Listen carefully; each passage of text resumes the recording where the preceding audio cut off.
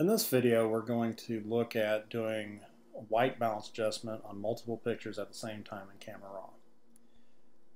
Whenever you're doing a photo shoot with portraits, especially to try to help get the skin tones a little bit better and a little bit more accurate across all of your pictures, it's best to use a gray card or something that has a grayscale in it.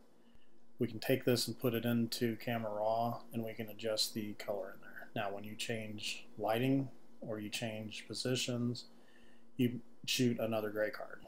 So I've selected from a photo shoot some pictures that use this common gray card.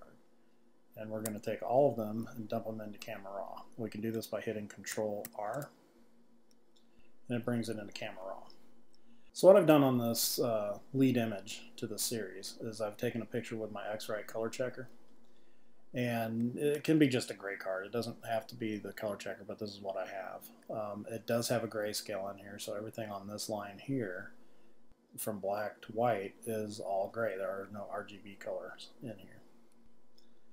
So what we can do here is now that we're in Camera Raw and we've imported all the pictures, what we can do is hit com Command or Control A, and that will select all of the pictures in the series make sure that we are on the picture, that we see the picture with the gray card in it. If we're not down here, we can change the picture that we're looking at. But all the images are still selected over here on the film strip. With a white balance tool, we can hit a middle gray, which on mine is this. If you have a gray card, it's just that. And when I hit it, it applies that color change throughout all the images.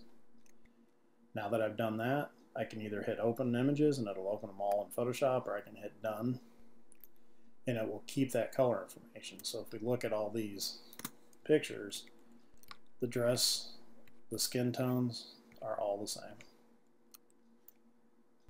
So that is a quick way of doing white balance and camera raw on multiple images.